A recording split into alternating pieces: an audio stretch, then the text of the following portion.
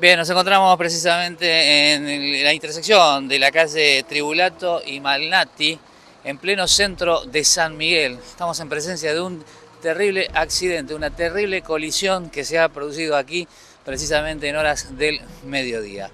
Vemos aquí una, un vehículo EcoSport de color rojo totalmente volcado hacia uno de sus lados, mantenido obviamente eh, en su lugar hasta que lo puedan enderezar y vemos también el otro involucrado, el otro vehículo, un vehículo, un Peugeot de color gris plateado.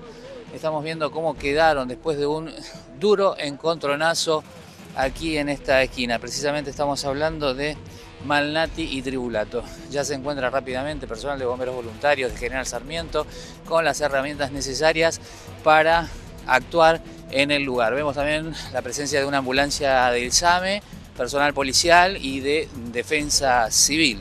Eh, estamos en presencia entonces de una terrible colisión que ha sucedido aquí. Eh. Vamos a tratar de hablar con alguien. Señor, buenos días, ¿cómo le va? Ah, ¿Hubo heridos?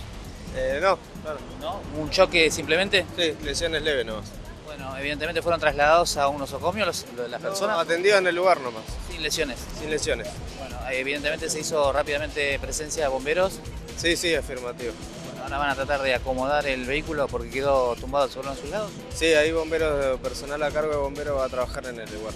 Muchísimas gracias. ¿eh? Por favor. Bueno, hablamos con personal de defensa civil. Fíjense cómo quedaron estos dos vehículos en este encontronazo en Malnati y Tribulato. Fíjense que uno de ellos, el automóvil de color gris, marca Peugeot, se activaron eh, los sistemas de airbags y precisamente allí lo demuestra. Toda la trompa totalmente deshecha y fue evidentemente producto de ese choque que impactó sobre el lado derecho de esta EcoSport roja que se encuentra ahora volcada. Se han puesto una serie de cuñas para evitar que eh, siga cayéndose hasta tanto puedan los bomberos voluntarios hacer remoción de este auto y colocarlo en su posición original para ser trasladado. Bomberos voluntarios, reiteramos, Policía Federal, Defensa Civil en esta esquina, un cruce verdaderamente peligroso. Vemos cómo está vedado un carril donde se encuentran los dos automóviles y así quedaron en la intersección de Malnati y Tribulato en este mediodía.